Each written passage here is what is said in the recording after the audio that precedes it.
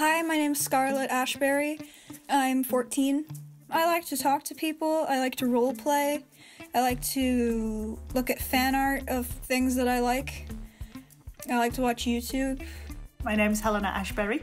When she asks for an app, I, I think I drive her nuts, particularly when she was younger you know, uh, that I'll go off and research. And it got to the point of where I'd say, well, I'll have a look at it. And she'll go, oh, you'll just look until you find something that says that it's dangerous, and then you'll tell me you can't have it. she always looks at parent reviews. Don't do that. If you're looking at the parent reviews, they're going to be talking about, oh, my child's addicted to this app. Oh, my child been talking to this old guy. It's like, you're looking for bad reviews, you're going to find them. Hi, Taylor. Hello. Today, I'm going to tell you about a parent named Helena She's an engineer, and she describes herself as having a decent grasp on tech, but she still feels like when it comes to newer media, there's stuff she just doesn't get. I grew up without any of this, you know. I mean, Atari came out when I was a kid, and I entered the online world when I was probably about 21, 22, and it was the dial up modem and all that kind of thing, and the internet was cool. Taylor, do you remember when the internet was cool? It still is. Good answer. Good answer. Helena has a 14 year old daughter, Scarlett, and Scarlett has spent a lot of time trying to educate her parents about what she's doing online. They do not understand Instagram at all. Like, they know what it's for, they just don't know how to use it at all. you look annoyed. Because it's so easy. It's. It's not even that hard. Have you tried to teach them? I did. My mom was like, "Oh, well, I keep seeing these people dancing on my screen. This, this is not what I'm not. I don't follow them." I'm like, "Mom, you're you're in Reels. That's not nobody watches Reels. What are you doing?" She goes, "Well, I thought that was the home button. There is literally a house button. It's a house. Press the house to get to your home screen. It just makes sense." Have you had moments like this with your son? Oh, absolutely. Some of the tools he uses a lot better than we do, um, as you know. yes. Is he a kind teacher? No, no. He's uh, very impatient. so it's a trend then. Oh, yeah. Today's story hinges on this fact that many parents just do not understand the world their kids live in and some of the fears and tensions that come out of that. I'm Taylor Owen, an academic who studies technology and who is desperately trying to keep up with a very online eight year old. I'm Nicole Edwards, a journalist whose parents are remarkably tech savvy. This is Screen Time.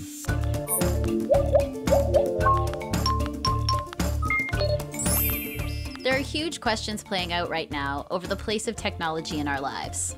Facebook was scheming to bring even younger users into their field you're basically giving out your personal ID to games so they can make money for it. There are some people that I would like to block in real life. We could work together, but I will add that there are tensions because in the app market, their job is to sell, sell, sell.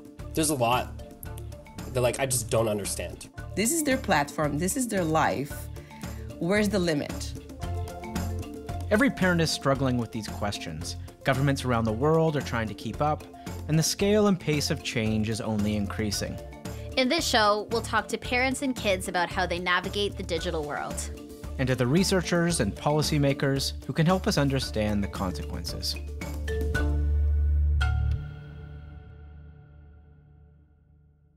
Helena had a story that I think illustrates how a lot of parents feel about their children navigating the internet my daughter asked for a Fitbit probably about three years ago now, and uh, she was a tween, and already as a parent, worrying about her being on her devices too much and not getting enough exercise. So it seemed like a great idea to me. So. Uh, totally embraced the idea, and uh, she got a Fitbit. And I guess it uh, was probably two or three months later, and uh, for some reason, I, I came across on her phone that she was getting messages uh, through the social media side of Fitbit, which I had not realized really it hadn't sort of clued in with me that there was a social media side to it. And my daughter was getting messages from men i guess men or boys on on the app that could be um, you know as, as outright as will you be my girlfriend? Which just just totally stunned me, you know. And, and we sort of laughed a little bit about it. Like, what are they really expecting? Are they uh, really expecting you to say, yeah, okay? I had no idea you could message someone on a Fitbit. Did you know that? I, I didn't. I didn't. Um, there's a legal academic named Evelyn Douek who likes to say that everything is a content moderation problem with technology right now.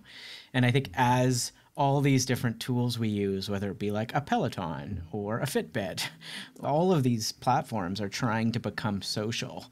And the second you try and become social, you have to deal with bad content and how Yep. you're going to decide what can and can't be said. And it's, it's no longer just Instagram and Facebook. It's now Yeah, our right. exercise bikes and our cars and anything that creates a connected environment. Absolutely. And to be clear, I'm not sharing this story to alert parents to the danger of Fitbits or anything like mm. that. You know, thankfully, nothing happened. Scarlett is fine.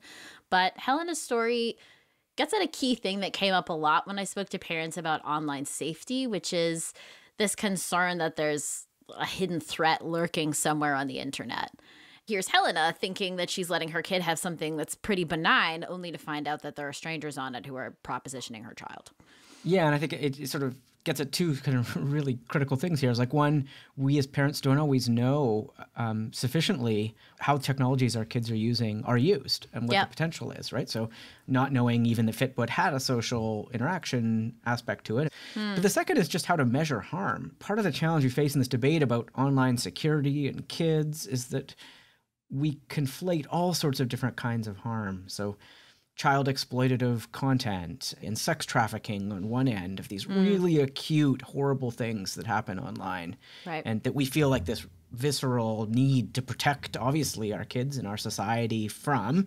And we'll go to great lengths to do that, right? Right. But then there's just all these other harms that teenagers face in this world online of the propositioning, the cyberbullying, the trolling, the kind of gross behavior that exists disproportionate to it does in the, in the physical world. And that might require a different kind of response. So assessing harm and risk is really difficult at any time, but I think it's really hard for parents in this environment where they don't know always what's going on. They don't know how these tools are being used.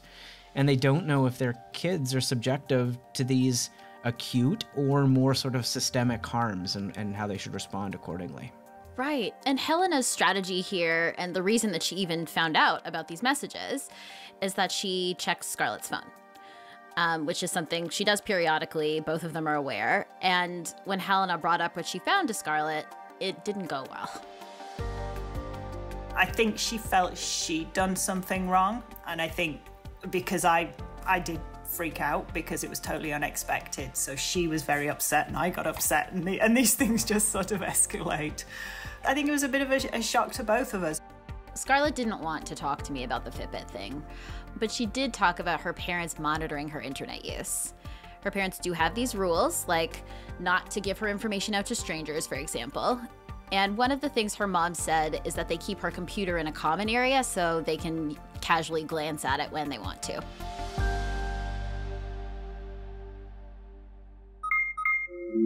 She mentioned that sometimes she looks over your shoulder when you're on your laptop. How do you feel about that? It's. It makes me feel like I'm doing something wrong, even if I'm not. Like, I could just be chatting with my friend, just talking about normal things that I could talk with with my mom, and she hovers over my shoulder. I just go, What did I do? it's worse when my dad does it, though, because he breathes into my ear and just stands there and stares. My mom just walks past. My dad's just standing there, like, With the, with his with bug eyes? yeah. I look into his face and he's just judging me and I'm like what? I don't understand why? No. And then he'll ask a dumb question like oh why is she wearing that shirt? I don't know. Why, why shouldn't she wear that shirt? Do you have a, do you have a problem with the fact that her shirt slightly is like slightly revealing? Is that a problem? It's like can you just go away? I'm trying to watch youtube. Leave. And this all brings us to this big worry that I hear over and over from parents. Probably she's the first generation that's grown up with it always being in existence. Like there's never been a world without the internet for her. Right. Um, without iPhones, without all these devices. I've got no frame of reference for it, and we're all making it up as we go along. And it's so difficult, and we're probably getting it wrong. But what can you do? I wonder, am I being too strict? But, you know, is it really going to work? Am I really going to protect her? So there are two parts to this question. On the one hand, is my kid safe in these spaces that I have no reference for? And on the other hand, am I worrying too much? Like, at what point do parents just let go? Those are questions parents are clearly struggling with and need to ask themselves. But they're not the only players here. Tech companies are also evolving their own tools for what they allow and don't allow. Then governments as well are trying to decide what rules they should put in place for the companies and the tools they design, and for kids of varying ages and how they'll engage in those spaces.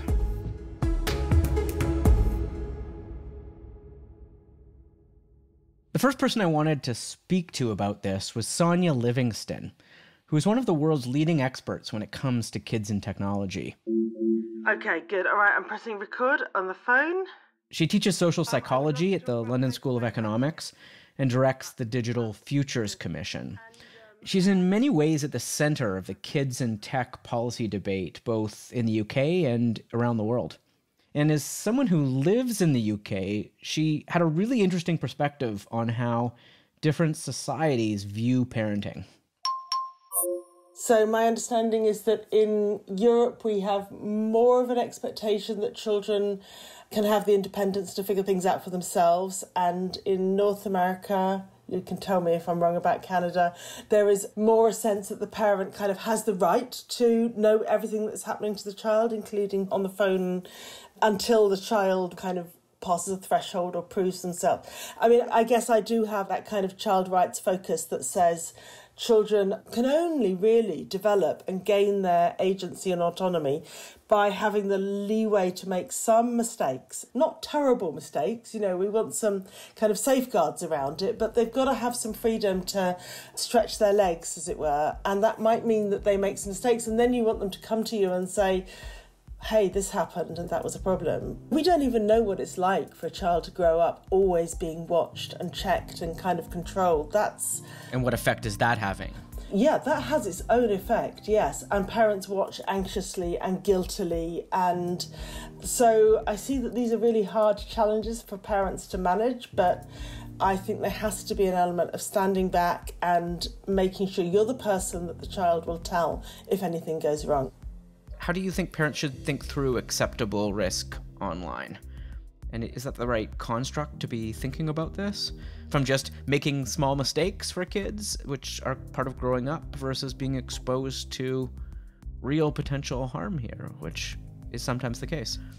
I used to say that the analogy was um, crossing roads and walking down the street and so on, but actually, parents have been making a different decision there too. So I think we all know that as children, we were allowed to, you know, able to kind of walk to the streets or to the shops or to the park unaccompanied, and now children are much more accompanied. So in a way, the risk and the fear of getting it wrong has spread. It's online and it's offline.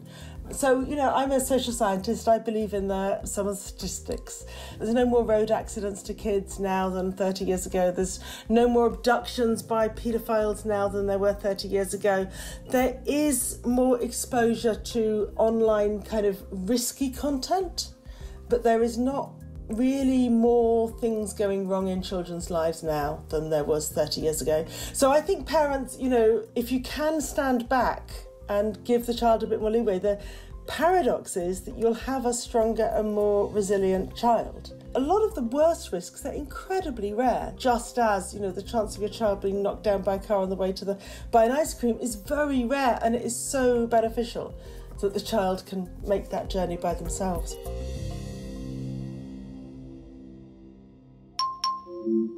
Wow, interesting. Yeah, it's really hard to get a worldwide picture of this. But it's certainly true that if we're looking at Canada and the US, both child abductions and road deaths are down. But what strikes me here is that so much of the public discourse around safety online revolves around these sorts of really acute harms that Sonia is talking about. For example, you remember that Apple got into some controversy last summer when they introduced new measures to fight child sexual abuse material, which involved collecting some information directly from the phones of their users. This set off a huge debate about the balance between security and privacy. But I talked to someone who thinks this is the wrong debate to be having. This is Valerie Steeves, professor of criminology at the University of Ottawa. Sorry, uh, I, I was watching the clock, watching the clock, and then naturally I got tied up in something on my computer just when it was time to log in. No problem. It's so nice to meet you finally. Yeah, it's lovely to meet you too. Valerie does a lot of research around human rights and technology. She also co leads the Equality Project, where she talks to kids, policymakers, and experts about ways to promote privacy and equality online. She makes the argument that this entire discussion is a distraction from the broader problems kids actually face online, and that in fact it's in the interests of tech companies for us to be focusing on these kinds of security issues. One of the things that fascinates me that I don't think anybody really talks about very often outside of academic circles is the fact that companies made a very conscious choice to stop talking about privacy and start talking about security. Companies started saying your child is at risk of being you know uh, attacked by a predator online. Companies started saying you should be concerned. Your child could be talking to a stranger online I've collected data for years, and all of the evidence indicates that when kids say they're talking to a stranger online, they almost always mean someone in the context of their social network. Their grandmother in Lebanon that they've never met in person, their cousin's friend who also plays volleyball in the town next door.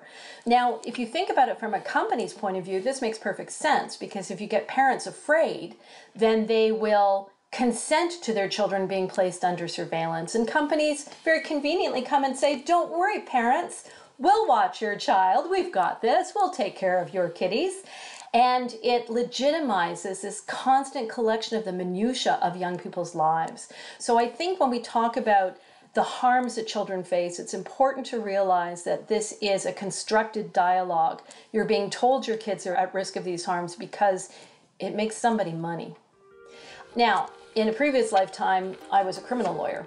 And I can tell you that from sex traffickers that I have talked to, that the children who are vulnerable to that type of attack share a certain set of characteristics. One of them is not the mere fact that they're online. Valerie says those characteristics include childhood trauma, a history of sexual abuse, low self esteem, running away from home, and minimal social support. In other words, if your child is vulnerable to that, and they go online, you should be really worried. If your child is not vulnerable to that and they go online, we haven't seen a case where that's worked out badly for you or your child. One of the markers of vulnerability is not the fact that your kid, you know, speaks to their friends on TikTok. The real problems you should be worried about is the fact that everything they say on TikTok is grabbed by the platform and used for its own purposes usually not for the child's well being. So, the recent um, news about Facebook, you know, intentionally gathering data and using it against young people to give them a bad sense of self or a bad body image, well, that's good marketing. That's been around for 20 years. I mean, there's nothing new about this. These corporations are purposely injecting a child's social environment with these highly stereotypical, mediatized images to manipulate them for commercial purposes and to create sticky places where they get addicted and feel drawn to out of their own sense of insecurity because they drop more data about themselves when they're there. So it's a two pronged attack.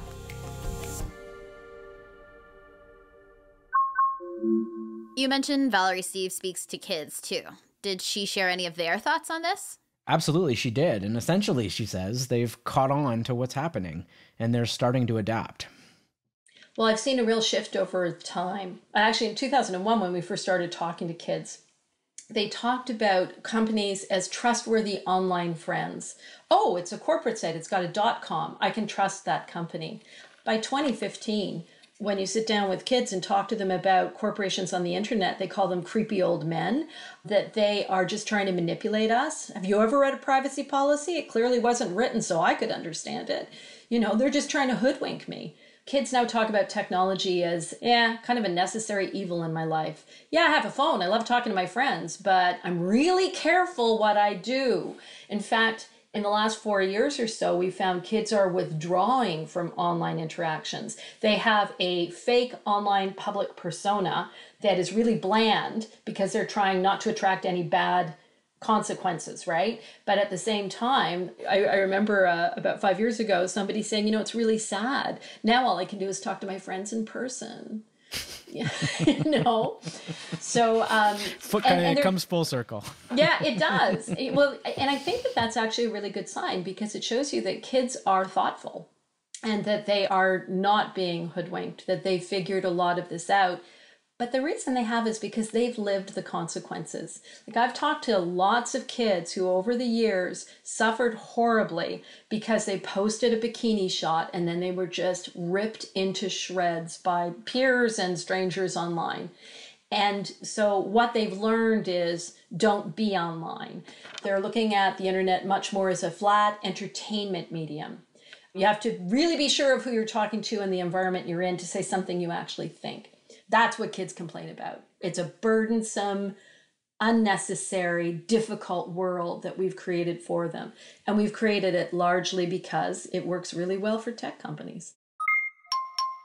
That's super interesting. It reminds me of something Scarlett said when I asked her if there's anything she worries about encountering online. Not really. I mean, I know there's bad stuff, but I don't really worry about encountering it because I just block them. Yeah, it's nice to have that power.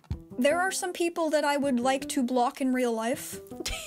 Wouldn't that be nice? if you could just straight up block people, don't see them, don't hear them, don't know they exist, that would be great. Yeah, she's right. I, I also wish I could block people in the real world. Don't we all? Scarlett also runs some servers on Discord, which is a chat platform, with these really long codes of conduct. Number one, be respectful, civil, and welcoming. Number two, no inappropriate or unsafe content. Number three, do not misuse or spam in any of the channels. Number four, do not join the server to promote your content.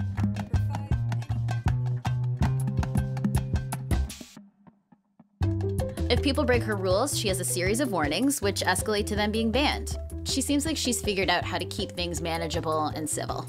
Yeah, this is something that's really struck me in a lot of these conversations is just the sophistication of the self-governance that's emerging in these spaces. People have real rules and guidelines for how they want people in their communities to behave.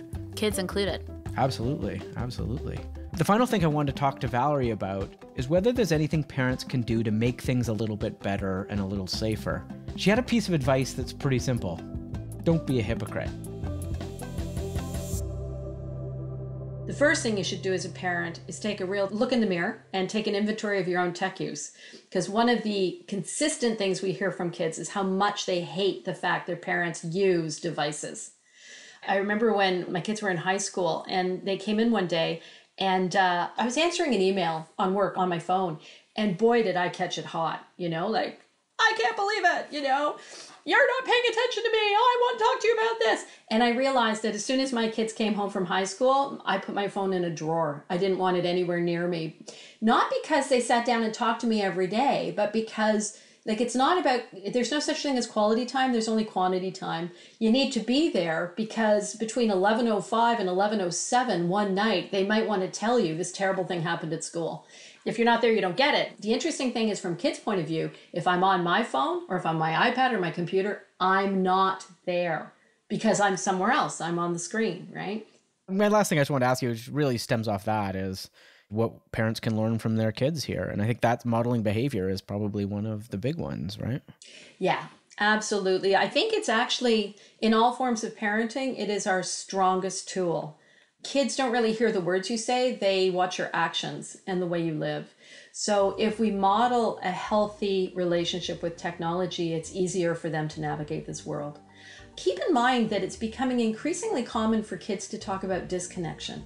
About three years ago, I got a call from my friend Val Michaelson, who was at Queen's. She was working with a group of kids that wanted to do some youth participatory action research. And they were interested in social media and how social media affected them. I've heard kids for years say, you know, I worry that all these devices make me lazy. I worry that they cut me off from my friends. I go over to my friend's house and everybody's on their phone. That's boring. So we worked with this group and they decided that they wanted to try a disconnection challenge. They wanted to completely unplug from technology for a week and they were thrilled. This is amazing! It's gonna be so cool. We will see how technology affects us. And one kid said, Oh, except for school. Hmm. You know, my teacher's not gonna let me not use the internet for school. Okay, so no technology except for school. Yay, it'll be amazing. Oh, except my parents will never put up with that because when I'm in ballet, my mom always wants me to text her to let her know when to come. And they went, oh, oh, oh, I can't because my coach sends me my schedule on my phone. I can't because my boss tells me when I need to come in on Saturday on my phone. And they turned to the two adults in the room, Val and I, and they said, What is wrong with you adults? Why are you always forcing us to use technology?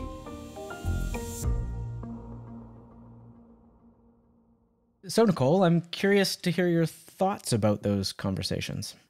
Yeah, you know, one thing that stood out to me is is the creepy old man archetype and how it's undergone a pretty interesting shift. You know, where once upon a time kids imagined the stereotypical internet predator as a man waiting for them in a chat room. Today, instead, the creepy old man is actually the tech company gathering their information and, and watching what they do. And I think that shows how sophisticated kids' understanding of online harms has become.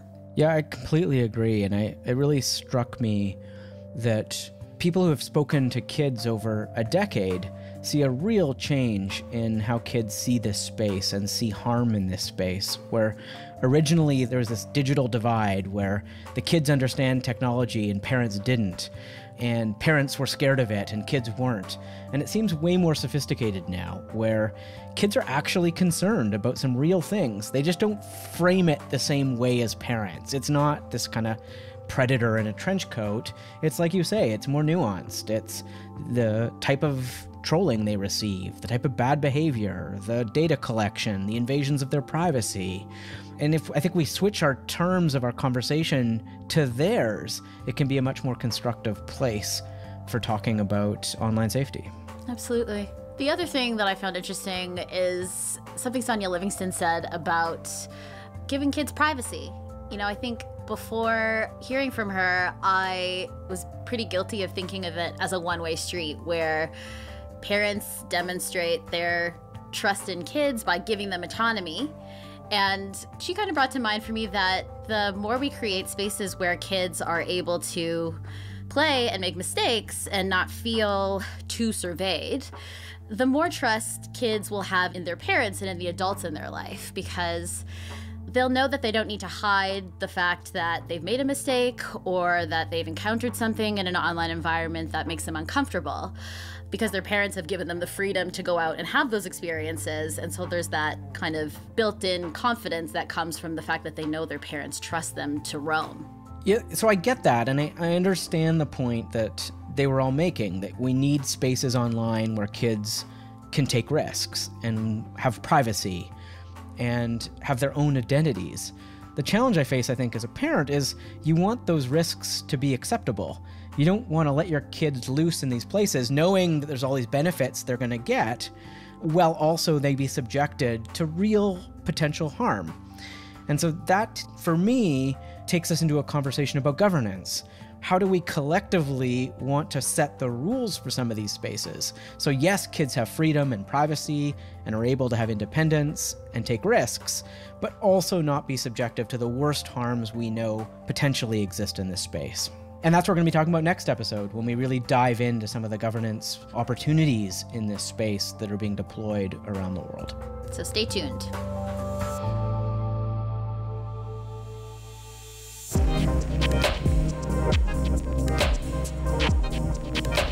Thanks for listening to this episode of Screen Time from TVO, Antica Productions, and the Center for Media Technology and Democracy at McGill University. I produce this show along with our senior producer, Kevin Sexton. Production assistance by Emily Morantz. Research support by Sonia Solomon, Cody Hauka, and Helen Hayes. Mixing and sound design by Phil Wilson.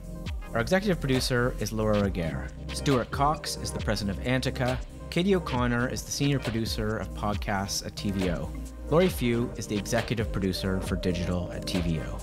If you like what you heard, tell a friend.